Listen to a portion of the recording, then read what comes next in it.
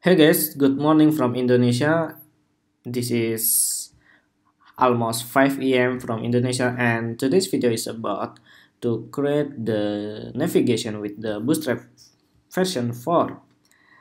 So some of you may be familiar with the Bootstrap and this is the framework that we are using on.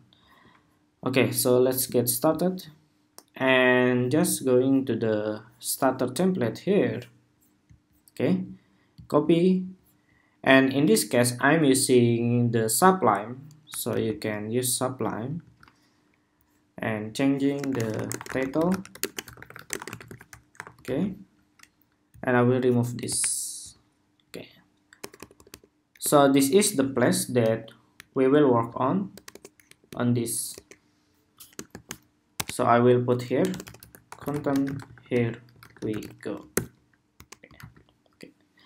so basically all of them we are loaded by uh, the CDN so means that we don't have to save our CDN but you have to connect to the internet. Okay? So this is all of JavaScript. You can replace with the offline but currently I'm using CDN from starter template from the bootstrap okay? And yeah bootstrap just provide you the components here for the navigation bar.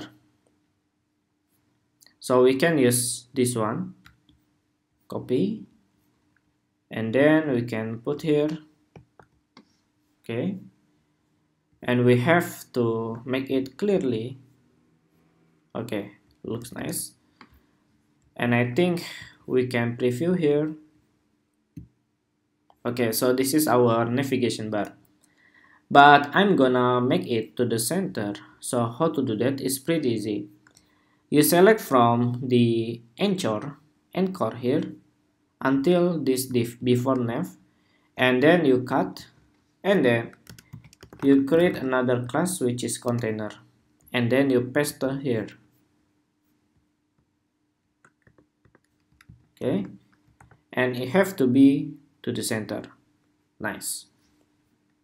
Okay so I think we need the dummy content because we want to scrolling to the bottom. So just going to the lipsum this is for the dummy content. And we can put after navigation here. Okay so row and then contentku and then container. And then okay. So so fast. Eh yeah I need paragraph. We need paragraph. Okay. And we need another paragraph. Just make it like this. Nice. And I guess that we need the here framework tutorial. Okay and in the content we want to give the padding top and padding bottom. So this is i provide master.css but we have to link the master custom css and then here you have to link to master css contentku. Padding top 100 pixel and padding bottom 100 pixel.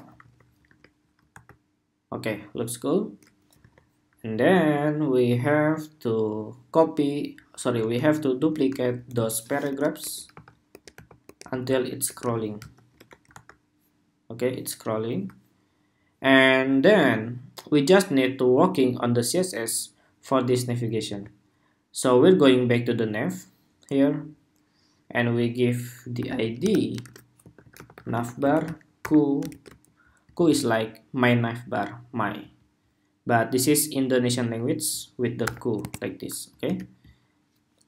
So then after that we're going to the css navbar ku and here we give the position uh, fixed okay? So the position fixed will have the navigation to become scrolling. Okay? But since this is id then we have to use hashtag. Okay? But what happens with the navigation bar? It broken. Yes it is. Because we are using another property from the master this one so we have to fix it by width 100 and top 0 okay like this right? Okay. Okay so this is uh, fixed right now. So I think we have to working in the uh, jQuery. So let's do this. But before that we have to link the jQuery here our custom JavaScript. So here have to be custom JS. Okay. We script source master. Wait. I guess I have to press enter and then you can see here. Master.js this is that we have provide so here we have to use the uh, init initialization initialize initialize I think so initialize or initialization I not really sure but this is recommended from jQuery. And we have to use the function here. So means that we are uh, after the document is ready then we we we will have use the uh, jQuery here. We declare new variable back scroll window page of page offset okay? And then we give the event which is window on scroll function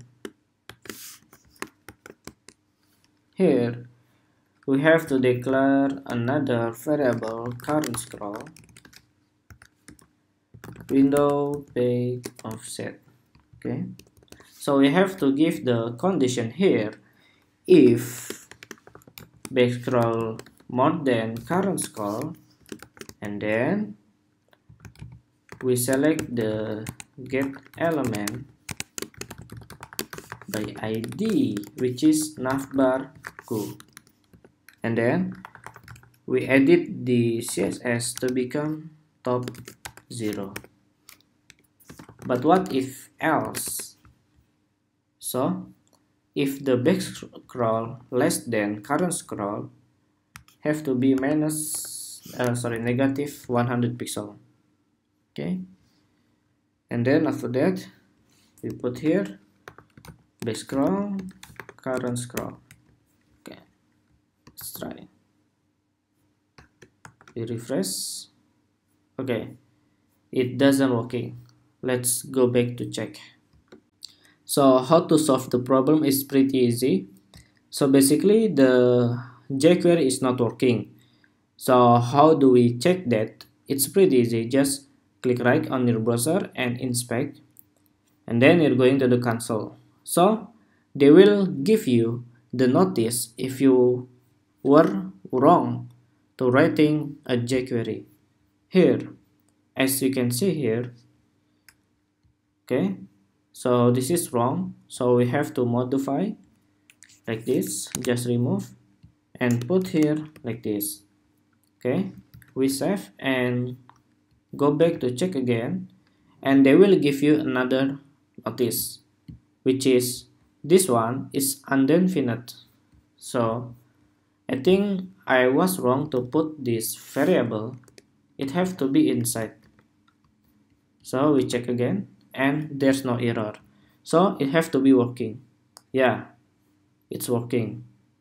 Okay.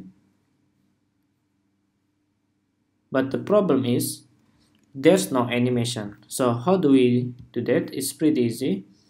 Going to the master CSS and give the transition all one second.